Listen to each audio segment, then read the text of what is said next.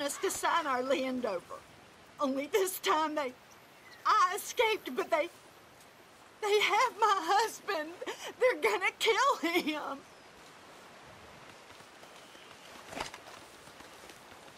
Abel Stuggs, huh?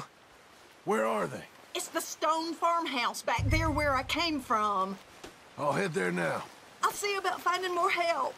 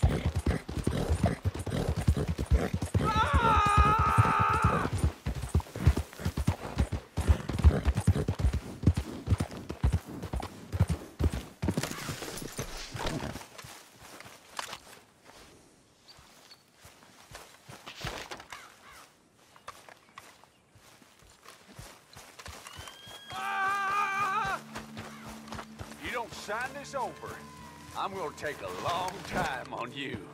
Just do it. You're gonna do it. You see, we're used to a mite more cooperation than you're offering. It's only scrub land to let your boy scrub. Son of a bitch. I'll break your goddamn neck. Oh, that's not very nice. After I'd done you the courtesy of offering it. They're killers. Get them. The hell? Oh, you're reading.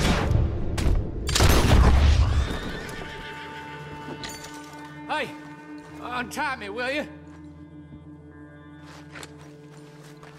Oh, yes.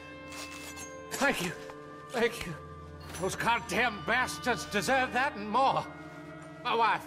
You seen my wife by any chance? Yeah, I saw her. West of here. She told me to come find you. Oh. oh, thank God. But thank you for hearing her call.